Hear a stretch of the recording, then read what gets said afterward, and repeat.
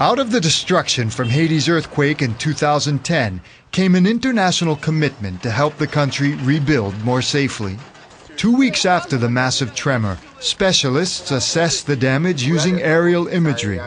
Those images and follow-up evaluations on the ground produced these nationwide multi-hazard maps for reconstruction. Alors là, on peut retrouver euh, les maisons jaunes, vert, rouge qui ont été évaluées par la Banque mondiale au début, euh, juste après le séisme.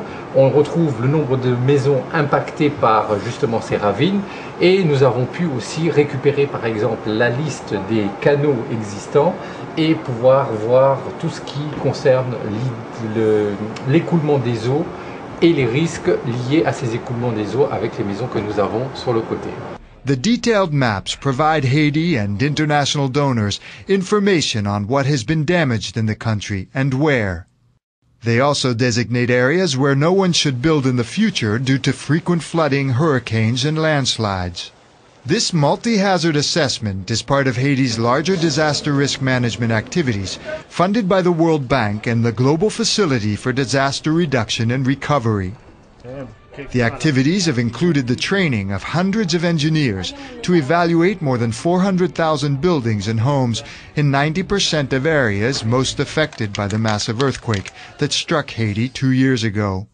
Le ministère avec financement de la Banque mondiale, a mis au point un bureau technique d'évaluation de bâtiments. Donc ce bureau-là a pour mission, dans un premier temps, d'évaluer la sécurité des bâtiments. Working with donors, Haiti's government has collected all its findings on damage and disaster risk in one national database. This database and new national guidelines on safe rebuilding practices are now being used by development organizations in deciding where and how to build or rebuild schools, hospitals, and homes.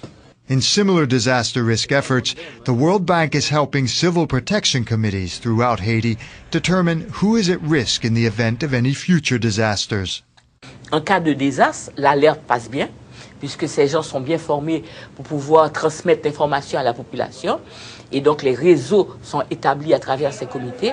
Et nous savons que lorsque l'alerte est bien lancée, nous avons une réduction du nombre de, de, fatalités. In the flood-prone district of Tabar and Port-au-Prince, a civil protection committee is out on an exercise.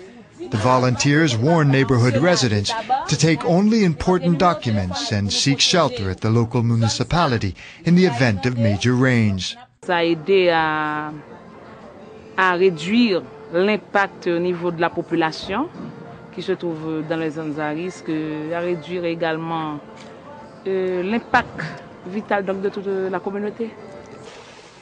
Good data on risks, say the protection committees, is sure to save lives ahead.